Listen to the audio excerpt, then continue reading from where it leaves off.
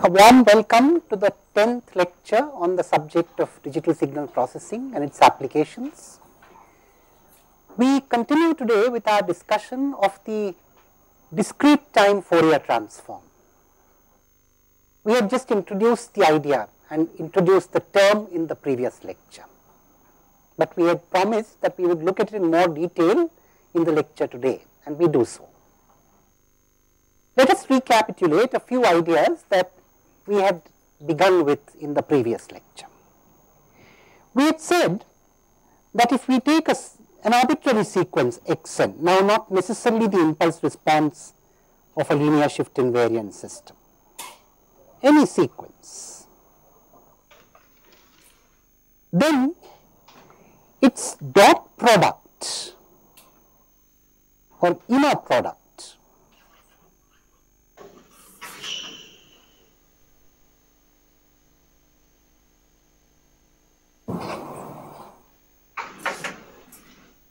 with the sequence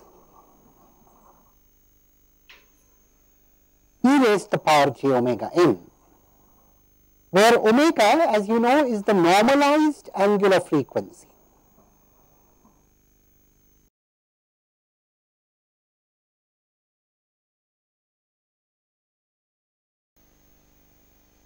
Its dot product or inner product with the sequence e raised to the power j omega n was given a name. Of course, if this converged. So, when you take a dot product here, unlike in the case of the finite dimensional space, where a dot product of two sequences is bound, uh, of two vectors is bound to have a non, non you know, a convergent value, a finite value. Unlike there the case of finite dimensional spaces. In infinite dimensional spaces, we do not have this guarantee. So, we cannot rest assured that this dot product will converge because there is an infinite summation involved. But wherever it converges, we call it the discrete time Fourier transform of the sequence. So, its dot product is called the discrete time Fourier transform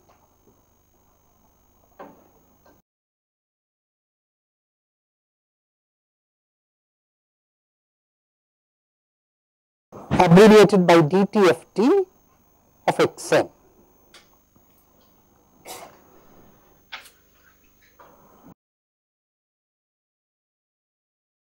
And in fact, we have given a name to the discrete time Fourier transform of the impulse response. We have called it the frequency response of the system.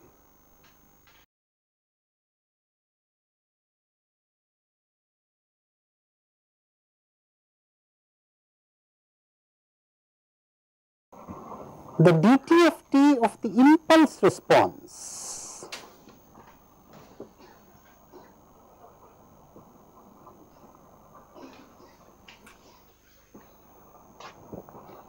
of an LSI system if it converges.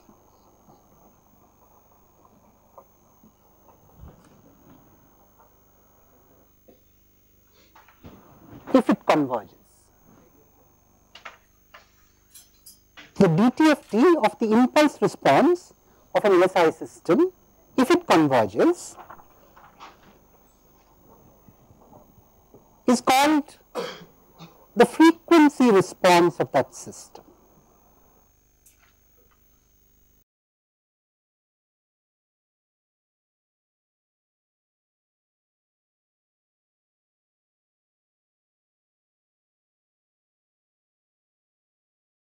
And in fact, we had used Hn normally to denote the impulse response and H omega to denote the frequency response.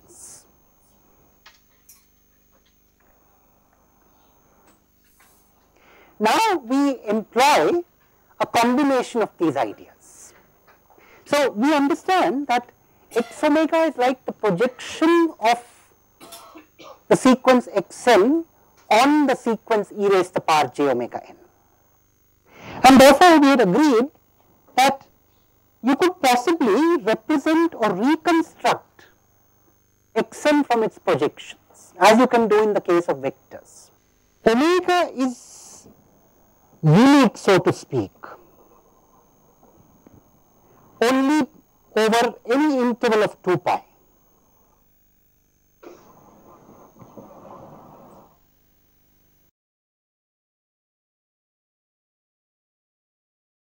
We know why this is the case. You see, 2 pi denotes the sampling frequency on the normalized scale. So, the maximum frequency component that could have been present in the original signal is not more than half the sampling frequency if you have taken care to avoid aliasing.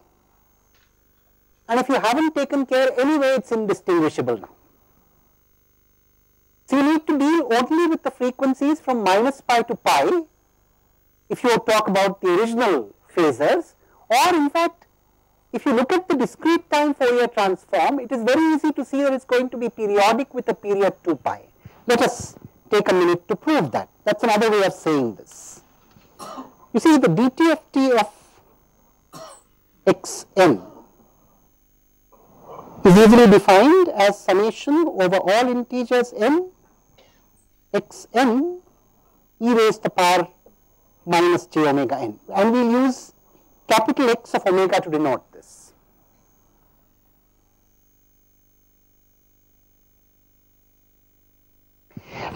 consider x of omega plus 2 pi.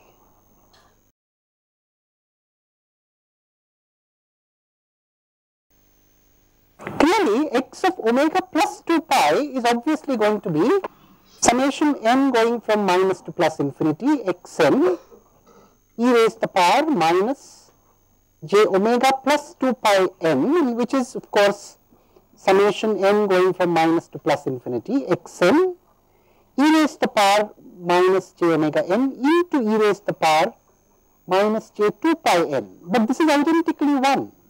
e raised to the power minus j 2 pi n is identically 1. And therefore, this is the same as x of omega. So, x omega plus 2 pi is identically equal to x of omega for all omega and of course, in particular for omega between minus pi and pi. Now, this is of course a mathematical way of demonstrating this, but the physical interpretation is that uniqueness is only over the region from 0 frequency to half the sampling frequency. And for every rotating phasor, with frequency omega, you have a counter rotating phasor with frequency minus omega, they come together to form a sine wave. You have uniqueness only over the region minus pi to pi. Beyond that there is periodicity. So, there is uniqueness only over any contiguous interval of 2 pi that is what we are saying. Contiguous means an, an unbroken interval of 2 pi. Is that right? Now, of course, this is true for any discrete time Fourier transform and therefore, we expect that we should be able to reconstruct x n from its components which are x omegas over this unique interval. In particular, you could take the unique interval from minus pi to pi. So, what are we saying in mathematical language? we are saying that we expect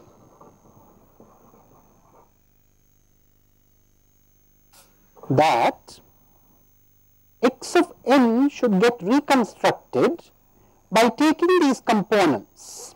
How do you reconstruct a vector from its components? You multiply the components by unit vectors in the direction of each of those components and add up these. So, if you have a three dimensional vector and if its components in the x, y and z directions are 1, 2 and 4, then how would you reconstruct the three dimensional vector 1 times a unit vector in the x direction plus 2 times a unit vector in the y direction plus 4 times a unit vector in the z direction. So, you multiply each component by unit vector in the direction of that component and add over all such components. Now here there is a slight difference. Here the components omega run from minus pi to pi and these components are not discrete, they are continuous. There is a continuum of components. Now when you have a continuum of components you cannot add. What should you do? You should integrate.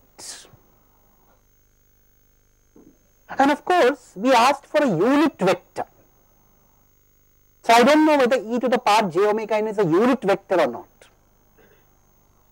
So, I have to make a provision that if it is not a unit vector, I should allow for a constant to divide or multiply that vector, essentially a constant multiplying that vector to make it a unit vector. Hopefully, the constant can be independent of omega. Okay. So, what I am saying is I multiply the component by the so called unit vector and the unit vector is e raised to the power j omega n times some constant kappa 0 let us call it and integrate over omega for omega going from minus pi to pi. I expect that this should be true. I already have a physical interpretation. Now, I need to prove this mathematically. The physical interpretation is I expect that I should be able to reconstruct the sequence here infinite dimensional vector by taking the product of components multiplied by the so called unit vectors and integrating over all such components over the region of uniqueness of omega. But now I need to prove this mathematically. So, let us look at this expression. Let us in fact forget about the constant. Let us consider summation or rather let us just consider integral minus pi to pi x omega e raised to the power j omega n d omega. So, we will worry about kappa 0 afterwards. Now, x omega of course we know is summation k running from minus to plus infinity x k e raised to the power minus j omega k.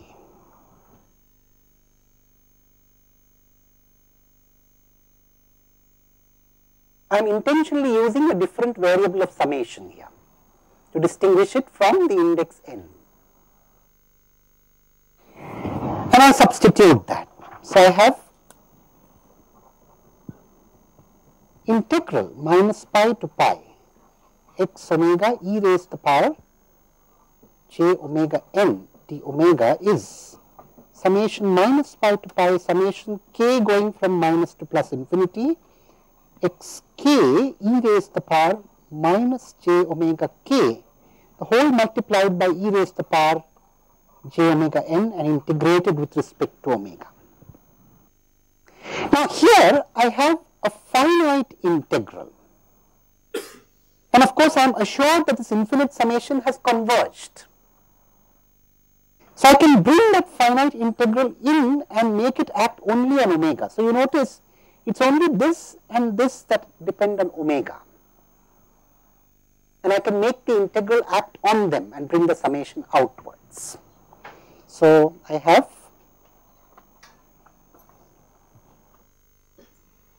I must remark here that it is of course an important technical point when you can make such interchanges of integrals particularly when the integrals or summations are infinite in length but we shall not dwell on those technicalities here. Let us take it that in this context it is acceptable and one of the justifications is that we have assured ourselves of the convergence of x omega.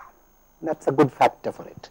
Anyway, so this is equal to summation k going from minus to plus infinity x k integral from minus pi to pi e raised to the power j omega n minus k d omega. And it is this that we need to study. What is this? Now, this is very easy to evaluate. In fact, we shall evaluate it mathematically, but let us evaluate it with some intuition first. What are we asking here? We are asking for the integral of a rotating number. Note here, see now for a moment you have to reverse the role of omega and n. n minus k, now you see you are integrating with respect to omega. So, it is omega which is changing here, not n and k. when omega goes from minus pi to pi, suppose n minus k is equal to 1, then you are going through one complete cycle. If n minus k is equal to 2, you are going through two complete cycles. Now, of course, n minus k can be 2 or minus 2.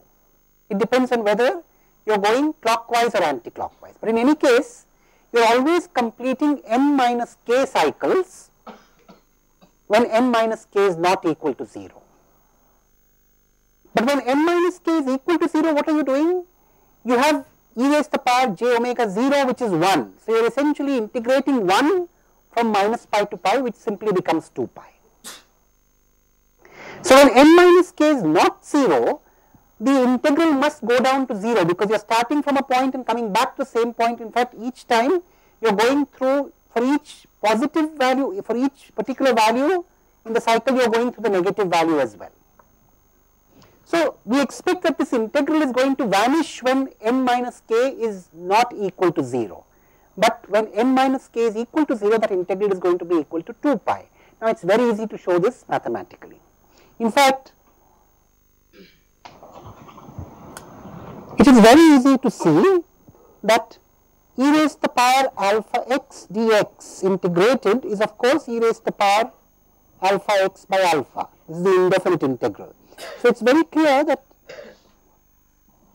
e raised to the power j omega n minus k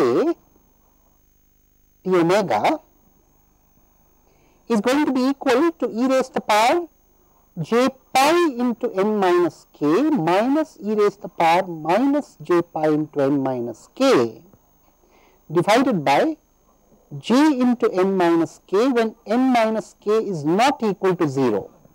1 raised to the power of n minus k by j minus n minus k which is j into n minus k which is automatically 0. So, for n minus k not equal to 0 or n not equal to k that integral vanishes.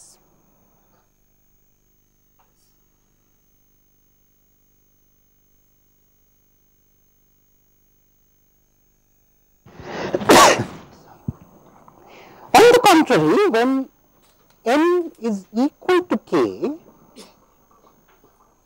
or n minus k is equal to 0, integral e raised to the power j omega n minus k d omega from minus pi to pi is simply 2 pi.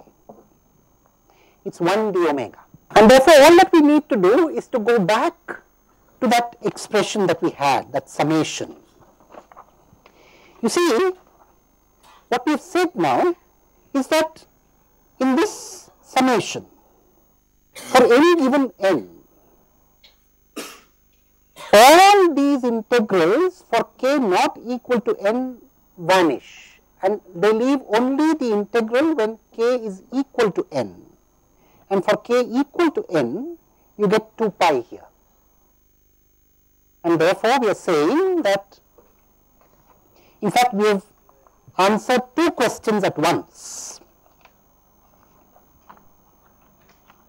we have suddenly answered what is kappa 0 as well. So, we have said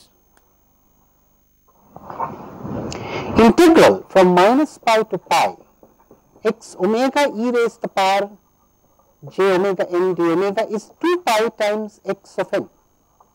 And now it is very obvious that x n is therefore 1 by 2 pi integral from minus pi to pi x omega e raised to the power j omega n d omega. Now, what is the, you see we have this mathematically, we already made an interpretation of it in the beginning of the class in terms of vectors. There is a very interesting correlation that we see. And in fact, as I said, we have already answered the question, what is kappa 0? Kappa 0 must be 1 by 2 pi. We didn't need to work very hard to arrive at kappa 0. Now, this is called the inverse discrete time Fourier transform. So, we say the inverse discrete time Fourier transform of x omega which is periodic with period 2 pi